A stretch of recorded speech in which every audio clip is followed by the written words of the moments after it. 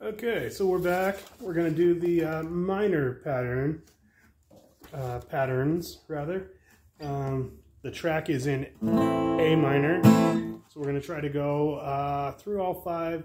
I think I'm gonna start in pattern two though, because that is the lowest point of the A minor. So we will try that out, and again, enjoy the mistakes.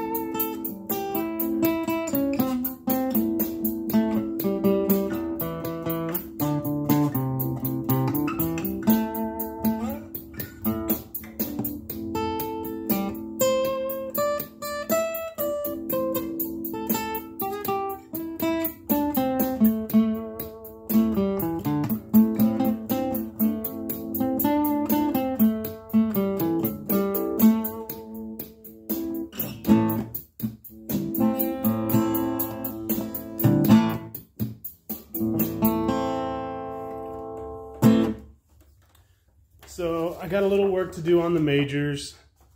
The minors I enjoy. It's just a, I don't know, more of a groovy feeling to me. But we're still working on it. We're still practicing. Uh, we're coming up on the mixed majors and minors, and then uh, a little bit of technique and stuff. So see you next time. Thanks.